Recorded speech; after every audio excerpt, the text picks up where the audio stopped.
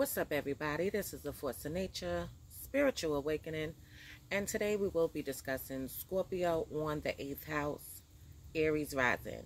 So, this is for people that have um, Aries rising or people that know somebody that has Aries ascendant because it is the same. So, we're going to dive deep into this to see exactly what this means. I do have quite a bit of information on the topic. Okay, so this placement will impact a person's approach to transformation. It will also access, make them have access to resources and close relationships. So these people will strongly yearn for depth of emotions and connection in their relationships because of Scorpio's deep penetrating energy. So these women and men must dive into life's deeper levels and look for relationships that can change them. So, what these people are doing in this lifetime, Aries rising individuals, Scorpio on the eighth house, they are looking for meaningful relationships, very deep soul level relationships so they could connect with somebody.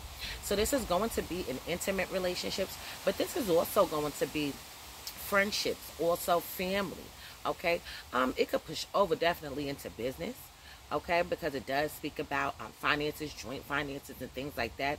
That's something that they definitely would want to do with their partner for sure. So increased enthusiasm for collaborative assets such as joint finances heirlooms and close relationships can also signify that scorpio on the eighth house. So these people may clearly understand the potential for significant growth through these shared resources and have value and power. Okay, so these men and women have a solid capacity to experience significant changes and accept growth in their selves due to Scorpio's fierce and piercing energy. So these people possess the bravery, to face their anxieties and get change and a deep insight into unspoken truths.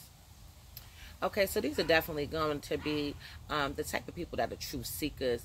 They are brave, they are powerful individuals.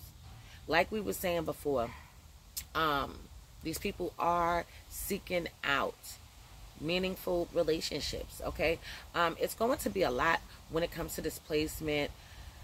It this is this is a little challenging for these people because of the things that they're going to have to go through, experience, and also endure. So these people have a highly intelligent attitude to handling common assets and legacies.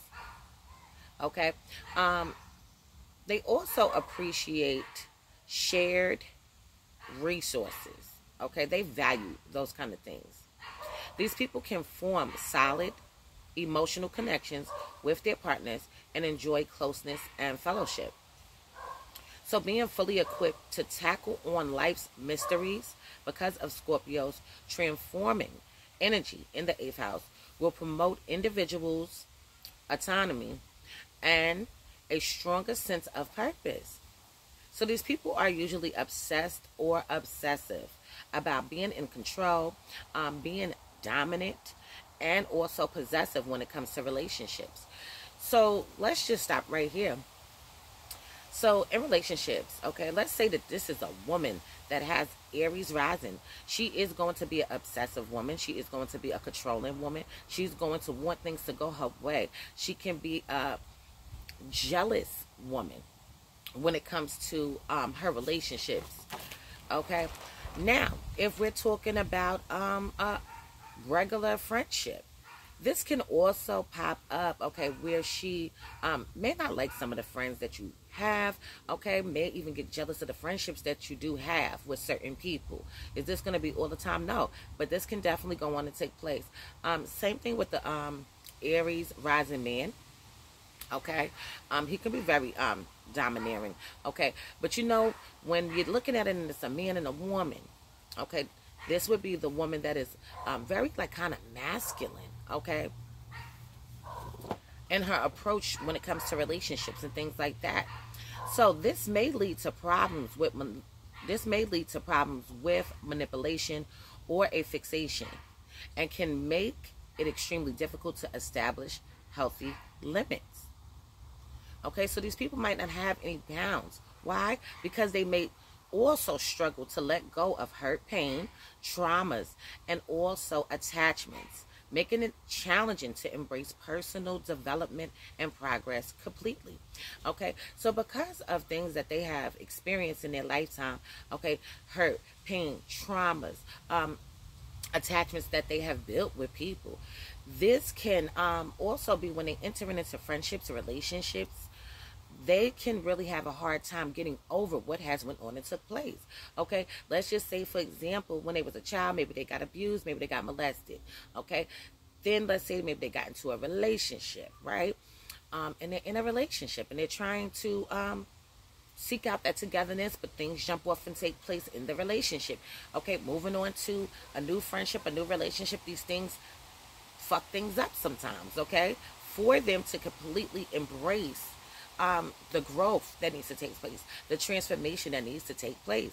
So the intensity that this placement brings may also increase distrust or secrecy, making it more difficult to build relationships with other people. So yes, they can be um, not trusting of other people. They can be very private, secretive, um, selective about who they reveal things to. Okay, so it is going to be crucial for you to actively focus on controlling your intensity and developing healthy strategies for dealing with power struggles and emotional um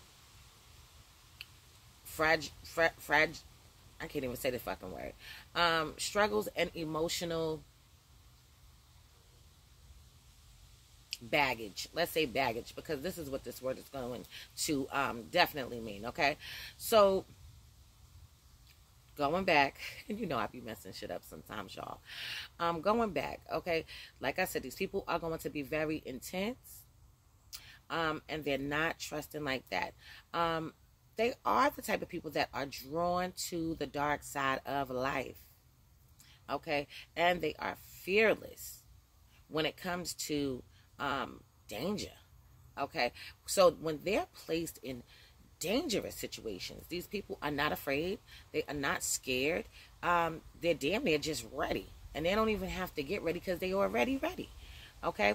Um, but yes, they're drawn to the dark side of life. So this means that they could have encountered a lot of things that maybe they should not have seen when they were children, being exposed to certain things and activities that maybe they should not have been exposed to. Okay? Um, one, definitely when you're thinking about being exposed to things that maybe you shouldn't have been as a child. Okay, this can be um, watching, you know, your mother get her ass whooped. Okay, watching people um, doing drugs, knowing people that do drugs. Okay, um, sell drugs, been to jail, fight a lot, you know, um, gangsters, or whatever the case may be. This is what could go on and take place that they have seen in their life. So now, having a deep desire to make and control your partner. Okay? Um and this goes back to what we were speaking about before. They want to be the alpha female or the alpha male in the relationship. Okay? These women and men are combined with understanding their selves deeply. Okay? So they want to know who they are, but they want to know who you are as well. Understanding their relationships deeply, understanding the aspects of life deeply, they are the deep souls. This placement offers immense potential for personal growth and transformation. Through it, they can also bring emotional turmoil. So, regardless it ultimately guides them towards acceptance, emotional liberation, and spiritual freedom. So, some more traits to, to go along with this is going to be um, that they are open minded and energetic. They're inflexible, also indecisive. They need to be more responsible when it comes to domestic activities. So these individuals are extremely secretive and argumentative when it comes to their partners, money, and money in general. So these are the kind of people that um if they loaned you some money and you have not paid them back, they um, are going to probably chase you down. If you live in a neighborhood and things like that, they might want to pull up on you, um, question you about their money, their bread. Okay. Now, let's say if they purchased something from you. Okay. Let's say you have a business, they purchased something from you. And let's say maybe you did not have um, it in stock or whatever the case may be. These will be the people that want their refunds back. Okay, they want it back. They want it back now. Why didn't you give it to them and things like Okay, so these are these people. Now, when we talk about their partners, this means that they can have um, some type of control over their assets. Okay, um, maybe they're the ones that's handling the money. This is could be the reason why they want to do the joint finances. Why? Because two is better than one. We already know that. So they may encounter problems with inheritance and wills. Okay, so this is something to pay attention about. Why? Because um, if something is left over to them, they should, you know, be able to receive it, but they may come across a lot of issues when it comes to in inheritance and wills. And this can be from the mother, the father, from the grandmother. Okay. Um, this can also even be their partners. Okay, maybe their partners have a large family and things like that, and they're looking forward to something, and their partner passes away and things like that, and they're left with damn near really nothing, and everybody else got something. So this is something to pay attention to. So their life may be chaotic and filled with conflicts.